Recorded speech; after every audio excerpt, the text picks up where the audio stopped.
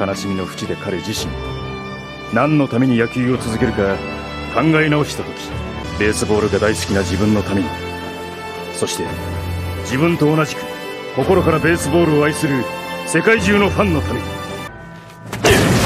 スイヤー！今はまだ三振してもいい。ホームランを打たれてもいい。つまずいてもいい。何度でも這い上がればいい。スケールの大きな真のスーパースターになって多くのファンに野球という夢を与え続けてほしいとね。